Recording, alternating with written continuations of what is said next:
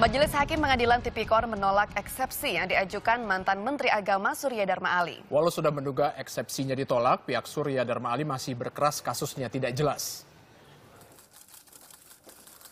Senin pagi sidang putusan selam mantan Menteri Agama Surya Dharma Ali digelar di Pengadilan Tipikor Jakarta Selatan.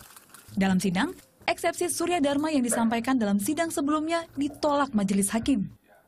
Hukum terdakwa Surya Dharma Ali tersebut tidak dapat diterima.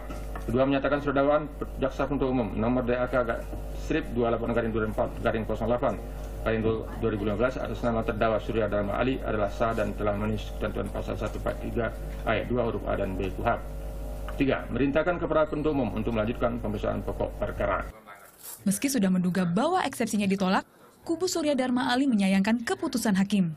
Surya Dharma berkeras, kasus yang menimpa dirinya dipaksakan dan tidak jelas uh, dakwaan itu uh, menjahit suatu cerita ke cerita yang lain sehingga uh, cerita itu menjerat begitu. Seperti misalnya hubungan saya dengan DPR.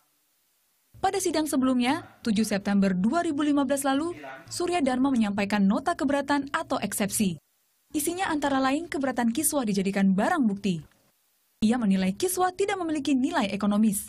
Kemudian total kerugian negara saat ia ditetapkan sebagai tersangka berbeda dengan dakwaan jaksa. Surya Dharma didakwa menyalahgunakan wewenang dalam hal penunjukan panitia penyelenggaraan ibadah haji dan petugas pendamping Amirul Haj. Politikus P3 ini dituding menyalahgunakan dana operasional menteri dan mengarahkan panitia haji untuk menyewa penginapan yang tidak sesuai ketentuan. Ia juga diduga memanfaatkan sisa kota haji nasional. Karenanya Surya Dharma terancam pidana maksimal 20 tahun penjara atau denda 1 miliar rupiah. Dinar Mangjasi, Agus Fahmi melaporkan untuk NET.